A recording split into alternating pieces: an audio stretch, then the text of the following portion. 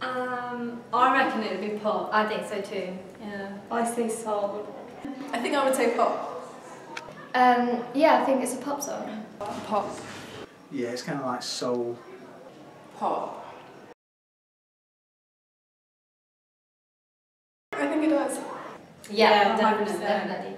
And the song goes really well with the um, storyline. And the like the speed she does that as well. Yeah. It all goes together. It goes really well. Yes. Yeah, really well.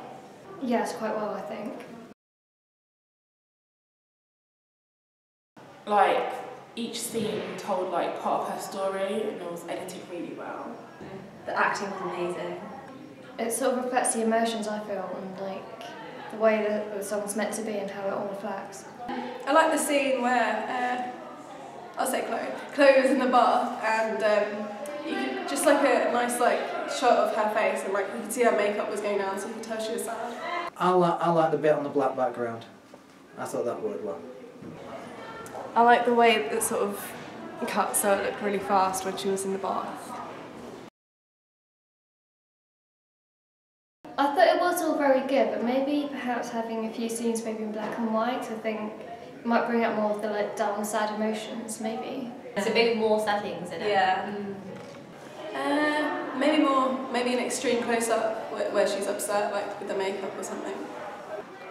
Um, not really, if I'm honest. I thought it was alright.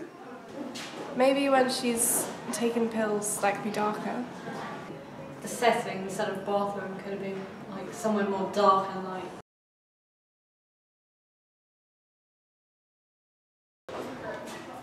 think so. Uh, I thought the bath scene would have. I thought that would have looked better in like black and white. I don't think so. I think the colours worked well. But then with the colour you can see more of her makeup. With the black and white we were able to see her makeup. No, but then it might look more defined because if it's black and white and you have black makeup on, then it looks more sad or something.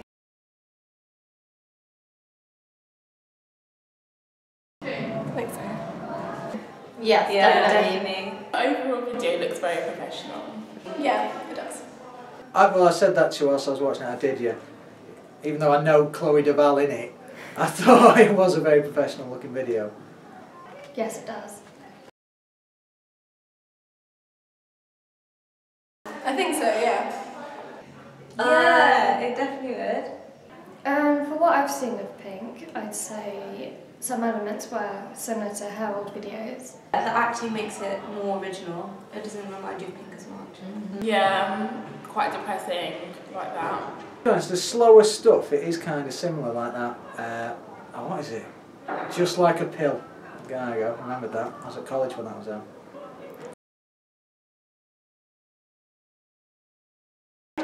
Editing. Um, I don't think so. The, the transitions are quite smooth, so I think they're okay.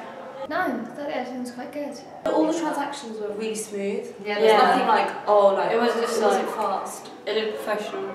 It all sort of moved, played very well, that's what I mean, yeah. I thought so, yeah. I thought the editing really worked well.